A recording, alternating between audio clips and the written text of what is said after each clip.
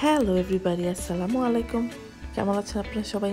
আশা করি আপনারা সবাই অনেক অনেক অনেক ভালো আছেন। আমি তো বেশ ভালোই আছি। আর দেখতেই পাচ্ছেন আমার আম্মুর হাতের খুব মজার মজার নাস্তা খাচ্ছি। আমার আম্মু আজকে সকালে বানিয়েছে খাস্তা পরোটা, গরুর মাংস। আর আগেই বলেছি, আমি যেই শহরে যাচ্ছি, সেখান থেকে মিষ্টি কিনে নিয়ে এসেছি। তো খাচ্ছি হরেক রকমের মিষ্টি। তো মিষ্টি মিষ্টি খাওয়া শেষে আর দুপুরটাতে শ্যুট করা হয়নি, এটা হচ্ছে বিকেলবেলা। তো আমি এখানে কিছু মিষ্টি, কিছু নিমকি কিনতে এসেছি।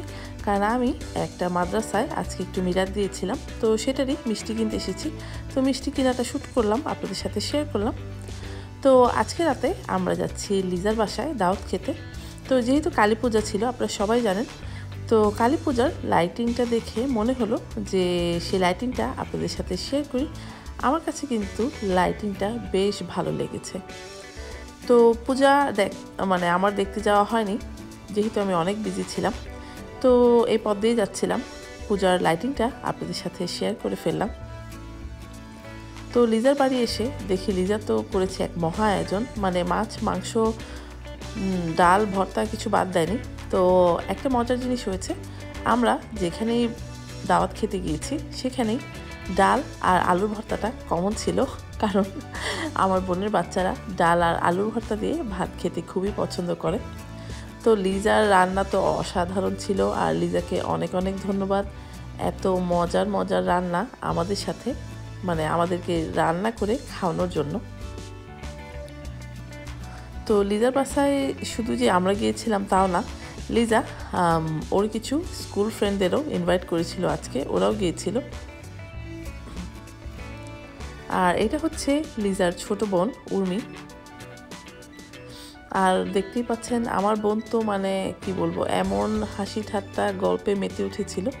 আর পাশেই বসে দেখছেন সেটা হচ্ছে আন্টি। আমি যেহেতু ভিডিও শ্যুট করছিলাম, আমি ওদের আড্ডাটা মানে জয়েন করতে পারিনি। কারণ আমি শ্যুট করছিলাম আর মাঝে মাঝে লিজাকে একটু হেল্প করতে চেষ্টা করছিলাম। কারণ লিজা একা মানুষ, এত কিছু নিজ হাতে করেছে।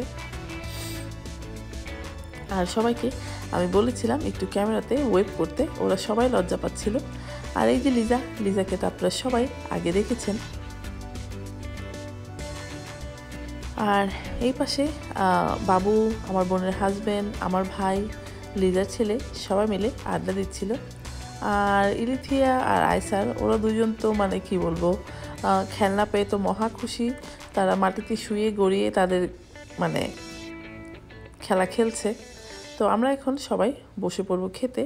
আর লিজা লাস্ট মিনিটের যেই কি বলব প্রিপারেশন ছিল সেটা করছিল। তো আমাদের খাবার দাবার শেষ। এখন আমরা খাব হচ্ছে ডেজার্ট আর ডেজার্টে তো ছিল মহা আয়োজন। কেক মিষ্টি শ্যামাই অনেক কিছু। তো আমি ডেজার্ট খেয়ে আমরা সবাই চলে গিয়েছিলাম বাড়ি। কারণ আমাকে কালকে সকালে যেতে হবে ঢাকা। তো ঢাকা এসেছি, গিয়েছিলাম বেনারসি পল্লীতে। তো ভাবলাম আপনাদের জন্য একটু শ্যুট করে নিই। আর আমি কী কী শপিং করেছি সব কিছু শেয়ার করব আমেরিকা ব্যাক করে। তো বেনারসি পল্লীতে গিয়েছিলাম, ওই ভিডিওটাও আমি অলরেডি শেয়ার করেছি। আমি দেখা করতে গিয়েছিলাম বাংলাদেশি ফুড রিভিউয়ের ফাহিমের সাথে। আর যে ভিডিওগুলো আমরা অলরেডি শেয়ার করেছি, তো ফাহিমের চ্যানেলে যে ভিডিওটা আছে শকতের কাবাব ঘরের ভিডিও আর আমার চ্যানেলে একটা আছে মিনুর ডিম চাপ। তো আপনি যদি কেউ ভিডিওগুলো মিস করে থাকেন, তাহলে ফাইমের চ্যানেলে বা আমার চ্যানেলে যে ভিডিওগুলো দেখতে পারেন। তো আমাদের ঘোরাঘুরি শেষ, খাওয়া শেষ, আমরা গিয়েছিলাম চুইঝাল খেতে। এটা হচ্ছে মিরপুর দুই নম্বরে, আমি যদি ভুল করে না থাকি। এটা হচ্ছে চিড়িয়াখানা যাওয়ার রোডে তো এই চুইঝালের ভিডিওটা আমি ফাহিমের চ্যানেলেই দেখেছিলাম। তো সেই থেকে খাওয়ার লোকটা একটু ছিল। তো আর ফাহিমকে বলেছিলাম, আমি ট্রেডিশনাল কিছু খাবার খেতে চাই। তো ফাইমি এই দোকানটাতে আমাদের মানে অ্যাড্রেসটা দিল, আমাদের নিয়ে গেল। তো দোকানে এসেছি, দোকানের খাবারগুলো একটু শ্যুট করে নিচ্ছি। আর নানা ধরনের খাবার ছিল, চিংড়ি মাছ, তারপরে হচ্ছে রুই মাছ, নলা মাছ, ভাজি, এটা হচ্ছে পরোটা খাবার ঝোল। তো পরোটা খাবার যে ঝোল পাওয়া যায়, সেটা আমার জানা ছিল না। এটা হচ্ছে ডাল, তারপরে হচ্ছে করলা ভাজি, ঢেঁড়স ভাজি, শাক, এটা হচ্ছে পুঁই শাক তো এই হচ্ছে সেই ঐতিহ্যবাহী চুই ঝাল। চুই ঝালটা তো মানে অসাধারণ, আর ওরা যেভাবে সার্ভ করে, এটা খুব ইউনিক ওয়েতে সার্ভ করে। ওরা গোটা বলটা ধরে, এই বলটা ধরে আপনার কাছে নিয়ে আসে, আপনার যেই পিসটা পছন্দ, সেই পিসটা আপনি পিক করতে পারবেন। আপনারা দেখিয়ে দেবেন, ওরা আপনাকে সার্ভ করে দেবে। তো আমার তো দেখে অসাধারণ লেগেছে। তো আমি আমি আমার মনের মতো পিসটাই ওদের কাছ থেকে বেছে নিয়েছি। আর চুই ঝাল প্রথমে তো ভেবেছিলাম খুব ঝাল হবে, খেতে কেমন হবে। এত দুর্দান্ত খেতে মানে কি বলব, ভাষায় প্রকাশ করার মতো না। আর চুই ঝালের রেসিপি কিন্তু আমার চ্যানেলে দুইটা আছে। যদি চান কেউ, অবশ্যই আপনারা দেখে নিতে পারেন। তো সেই দিন কিন্তু আমি অনেক খেয়েছি মানে কি বলব, কাবাব খেয়েছি, মেনুর চাপ খেয়েছি। তারপরে ডিনারে চলে এসেছি হচ্ছে চুইঝাল খেতে। তো চুরি ঝালটা খেতে আমার কাছে খুব ভালো লেগেছে। আর থ্যাংক ইউ ওয়ান্স অ্যাগেন ফাইমকে এত মজার একটা মাংস আমাকে আজকে মানে খাওয়ানোর জন্য। তো আমাদের খাওয়া দাওয়া শেষ। আর ওই দোকানের মালিক, যিনি চুই ঝালের দোকানের মালিক, উনি আমাদেরকে চুই ঝালের গাছ দেখাচ্ছিল। কারণ আমি চুই ঝাল দেখেছি কিন্তু চুই ঝালের যে গাছ, সেটা আমি কখনো দেখিনি। তো আজকে উনি আমাদেরকে চুই ঝালের যে গাছ, সেটা দেখাচ্ছে।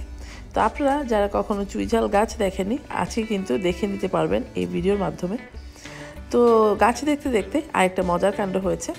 তো আমরা যখন খাচ্ছিলাম পাশের বাজারের এক মাংস বিক্রেতা, উনি বারবার এসে বলছিল, আপনারা যে মাংস খাচ্ছেন, ওই গরুটা কোথা থেকে আসে, কেমন গরুর মাংস খেলেন, সেটা একবার এসে ঘুরে দেখেছেন। তো উনি এতবার রিকোয়েস্ট করছিল যে না করা মানে একটু কষ্টকর হয়ে গেছিল। তাই আমরা সেই খুলনার গরু দেখতে চলে গিয়েছিলাম পাশের বাজারে। তো গরু দেখে বাসায় চলে এসেছিলাম, সেদিন আর ভিডিও শ্যুট করা হয়নি। তো আজকে দুপুরটাতে আমি আর আমাদের বাবু, আমরা দুজন মিলে গিয়েছিলাম শুটকি কিনতে। কারণ আমার বাংলাদেশের সময়টা অলমোস্ট শেষ হয়ে আসছে, আর বেশি দিন আর নেই। তো যতটা পারছি শপিং করে সেগুলোকে প্যাক করা শুরু করে দিয়েছি। তো বাজারে আসতেই চোখে পড়ল ট্রেন, তো ট্রেন এত কাছ থেকে কখনো দেখিনি। ভাবলাম এত কাছ থেকে যখন ট্রেনটা দেখেছি, আপনাদের সাথে একটু শেয়ার করি, আপনারাও দেখেন। তো এই তো শুটকির বাজার।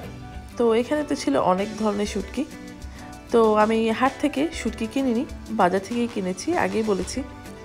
তো সেই জন্য শুটকি কিনতে চলে এসেছি। আমি কিন্তু এখান থেকে লোটে শুটকি নিয়েছি। আর আমি নিয়েছি খুবই বড় একটা মাছের শুটকি। ওরা বলছিল কাইকে শুটকি, তো আমি অ্যাকচুয়ালি ওটাকে ছুরি শুটকি নামেই চিনি। তো আমি এখান থেকে এক কেজি, দেড় কেজির মতো লোটে শুটকি নিয়েছি। শুটকিগুলোকে বাসায় নিয়ে খুব ভালো করে ক্লিন করে তারপর প্যাকেট করতে হবে।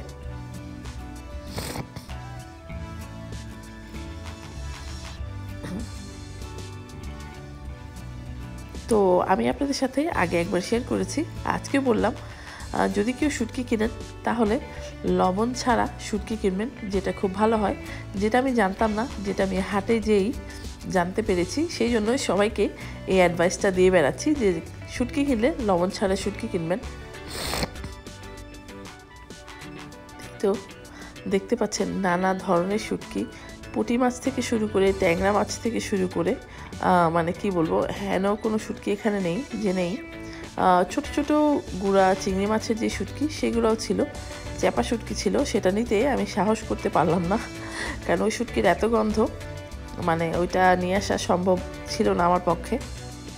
তো যাই হোক, শুটকির কথা ছেড়ে এখন একটা খুব মজার একটা কাহিনী আপনাদের সাথে শেয়ার করি। আজকে শুটকি কেনা শেষে বাড়ি ফিরে সন্ধ্যার দিকে আমি গিয়েছিলাম একটু চা খেতে। একটা রেস্টুরেন্টে যে রেস্টুরেন্টে আমি আপনাদেরকে অনেকবার নিয়ে গেছি। তো সেইখানে যে আজকে দেখা হলো আমার দুই ছোট্ট সাবস্ক্রাইবারের সাথে। আমি তো খুব অবাক হয়ে গেছি। আমি রেস্টুরেন্টে যেয়ে হাত ধুতে উঠেছিলাম। তো পাশে থেকেই দুইটা আপু আমাকে দেখে হাসছিল আর বলছিল, আপু, তুমি ভালো আছো? তো আমি ভাবলাম আমার ছোটো বোনের ফ্রেন্ড হবে বা কেউ। তো আমি বললাম হ্যাঁ ভালো আছি। হঠাৎ করেই ওরা আমাকে বলল আমরা কিন্তু রেগুলার তোমার ভিডিও দেখি, আমরা তোমার সাবস্ক্রাইবার তা আমি তো শুনি মহা খুশি। তো এই হচ্ছে আমার সেই দুই সাবস্ক্রাইবার তো আজকে আমি আমার এই দুই সাবস্ক্রাইবারদেরকে দেখি আমার ভিডিওটা এন্ড করছি। তো ঠিক আছে, সবাই ভালো থাকবেন। দেখা হচ্ছে আমার নেক্সট ব্লগে টিল দেন আল্লাহ হাফেজ।